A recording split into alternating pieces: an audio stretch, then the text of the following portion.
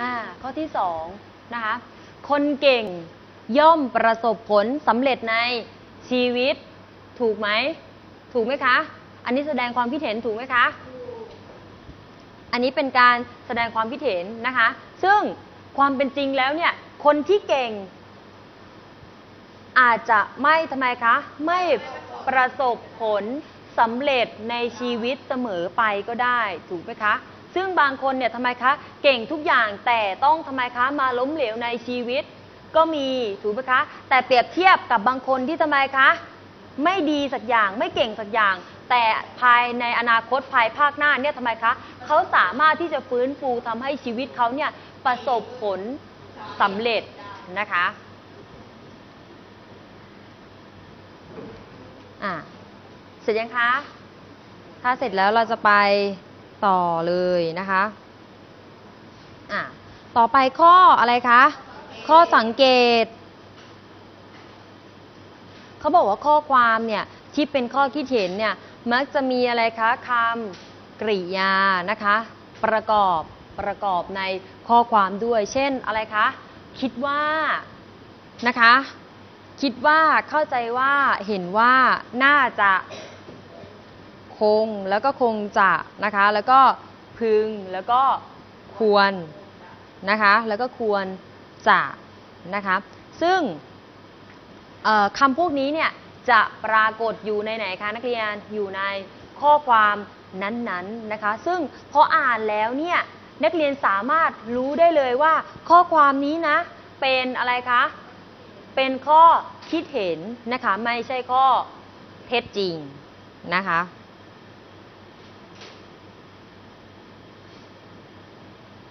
อะแต่ถ้าสมมุติ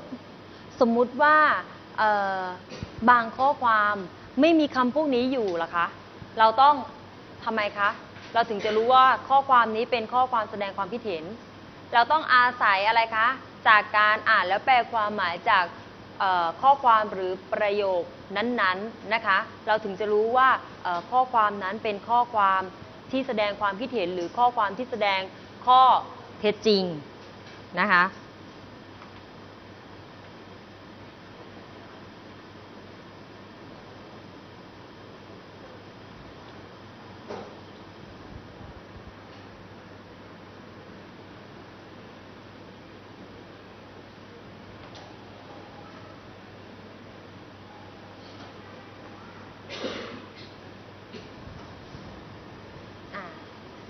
ผ่านนะคะ เสร็จยังคะ ถ้าเสร็จแล้วเราก็จะไปในหน้าต่อไปนะคะ ข้อเท็จจริงหมดแล้วนะคะ ต่อไปเราก็จะไปไปอะไรคะ ข้อเท็จจริง ขอโทษค่ะ ข้อคิดเห็นหมดแล้วใช่ไหมคะ ต่อไปเราก็จะไปข้อเท็จจริงนะคะอะเรามาดูกันว่าข้อเท็จจริงเนี่ยคืออะไรนะคะ เขาบอกว่าข้อเท็จจริงเนี่ยคืออะไรคะ ข้อความหรือเหตุการณ์ที่เป็นมานะคะ หรือเป็นอยู่จริงนะคะ หรือข้อความข้อความหรือเหตุการณ์ที่จะต้องวินิจฉัยว่าเป็นเท็จหรือเป็นจริง ใช่ไหมคะ คือเหตุเหตุการณ์หรือข้อความนั้นๆเนี่ยสามารถวินิจฉัยสามารถพิสูจน์ได้ว่าอะไรคะ คือเรื่องจริงหรือไม่จริงนะคะ อันนี้เรียกว่าข้อ เท็จจริงนะคะ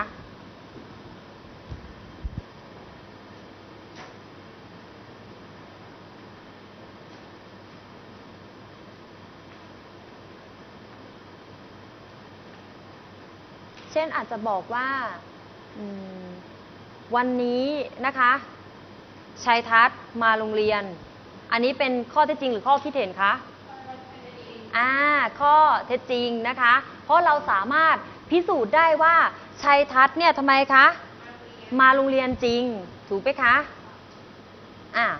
ธีรพัฒน์นั่งเรียนอยู่ในห้อง จริงไหมคะ จริงไหมจริงนะคะ เพราะเพราะฉะนั้นข้อความนี้ก็จะเป็นข้อเท็จจริงอีกเหมือนกันนะคะ เพราะว่าความเป็นจริงแล้วทั้งธีรพัฒน์แล้วก็ชัยทัศน์เนี่ยทำไมคะ นั่ง นั่งเรียนอยู่ด้วยกันนะคะ แล้วก็มาโรงเรียนทั้งสองคนถูกไหมคะ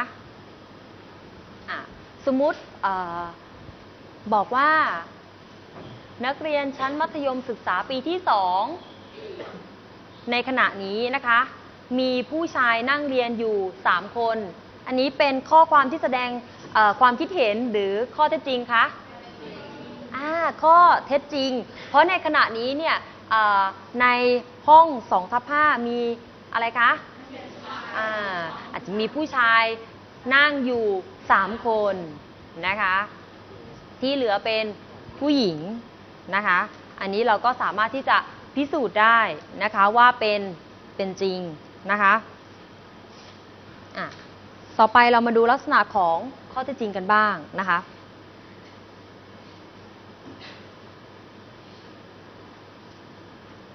อย่างข้อแรกเนี่ยเขาบอกว่าไงคะต้องมีความมีความเป็นไปได้ด้วย มีความเป็นไปได้ในที่นี้คืออะไรคะอะอย่างประโยคเมื่อกี้ครูบอกว่าชัยทัศน์มาโรงเรียนใช่ไหมคะ เป็นไปได้ไหม เป็นไปได้เพราะอะไรคะ เพื่อนหลาย ๆ คนเนี่ยทำไมคะกำลังเห็นว่าชัยทัศน์เนี่ยทำไมคะ มาโรงเรียนแล้วก็กำลังนั่งนั่งเรียนหนังสืออยู่ ถูกไหมคะ อ่า อันนี้ อ่า ต่อไปมาข้อที่สองถ้าบอกว่ามีความสมจริง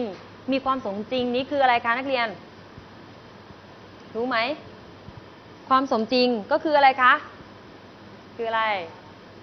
อะความสมจริง ถามว่าอ่าชัยทัศน์เนี่ยนั่งเรียนอยู่ในห้อง มีเพื่อนเห็นไหมคะ เห็นนะคะอะต่อไปมีหลักฐานเชื่อถือได้ไหม มีหลักฐานเชื่อถือเชื่อถือได้ไหมคะ เชื่อถือได้ก็คืออะไรคะ มีเพื่อนห้องเดียวกันเห็นนะคะ ว่าชัยทัศน์เนี่ยทำไมคะนั่งเรียนอยู่ในห้องนะคะ แล้วบางคนเนี่ยอาจอาจจะเพื่อนอต่างห้องเนี่ยเห็นด้วย หรือไม่ก็อาจารย์ท่านอื่นเนี่ยเห็นชัยทัศน์นั่งเรียนอยู่จริงนะคะ ต่อไปที่ขาดไม่ได้เนี่ยก็คืออะไรคะนักเรียนมีความสมเหตุ สมผลด้วยนะคะ ทุกสิ่งทุกอย่างย่อมมีความสมเหตุสมผลนะคะ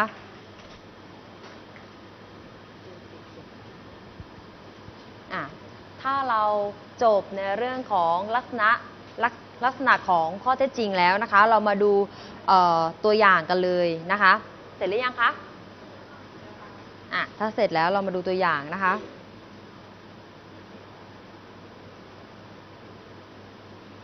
อ่า ตัวอย่างนะคะ เช่นบอกว่า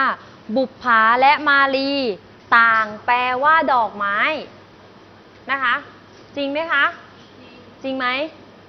จริงไหมคะอันนี้เราสามารถพิสูจน์ได้จากไหน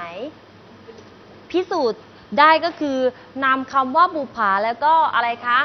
มาลีเนี่ยมาหาความหมายมาเปิดในพจนานุกรม นะคะ เพราะฉะนั้นข้อความนี้ก็จัดอยู่ใน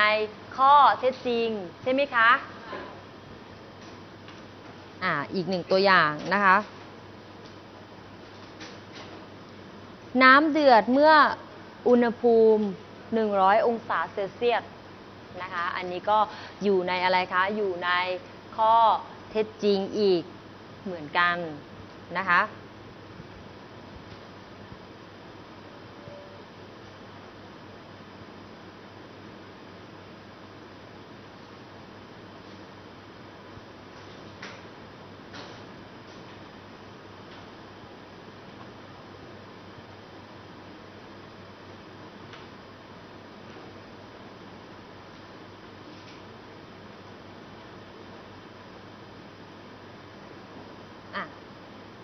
ถ้าเสร็จแล้วนะคะ เราจะไปดูตัวอย่างต่อไปเลยนะคะ เสร็จยังคะอะเสร็จแล้วนะคะ กะตะเวทีนะคะ หมายถึงสนองคุณท่านนั่นเองนะคะ อันนี้ก็อยู่ในอะไรคะข้อเท็จจริงอีก เช่นเดียวกัน เราสามารถพิสูจน์ได้เอาคำนี้มาทำไมคะ อาหาความหมายในพจนานุกรมนั่นเอง ว่าคำว่ากระตะเวทีเนี่ยแปลว่าอะไรนะคะต่อไปดวงตาเป็นอวัยวะที่ทำให้มองเห็นถูกไหมคะ ถูกนะคะ จริงไหมคะจริง ถ้าไม่มีตาเนี่ย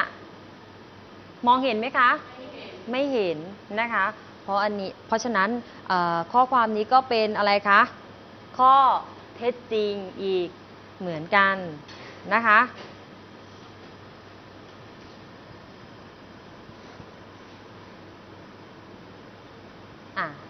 เรามาดูอีกหนึ่งตัวอย่างนะคะ ก็คือบอกว่าทุกคนเนี่ยทำไมคะ หนีความตายไม่ไม่พ้นใช่ไหมคะ อันนี้เราสามารถที่จะทำไมคะนักเรียนพิสูจน์ได้ใช่ไหมคะว่า มันเป็นเรื่องธรรมชาติของมนุษย์เราใช่ไหมคะที่ทำไมคะเกิดแก่เจ็บตายเป็นเรื่องธรรมชาติและที่สำคัญเนี่ยคนเราเนี่ยก็ไม่สามารถที่จะหนี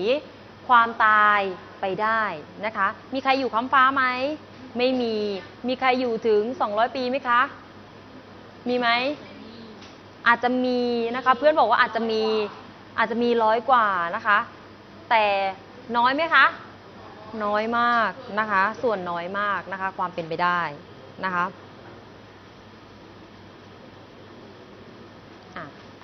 เสร็จยังคะอะถ้าเสร็จแล้วเนี่ยครูมีข้อความที่จะให้นักเรียนทำไมคะ อ่านแล้วก็ช่วยตอบว่าเป็นข้อคิดเห็นหรือข้อเท็จจริงนะคะ อ่าเรามาดูกัน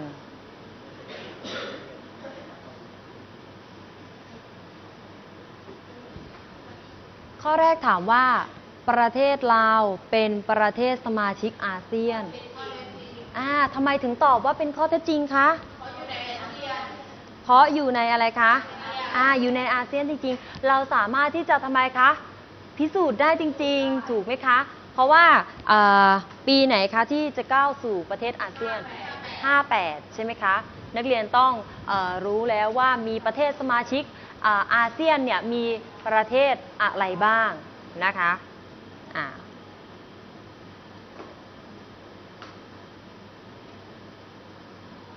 ต่อไปมาข้อที่ 2 เลยนะคะ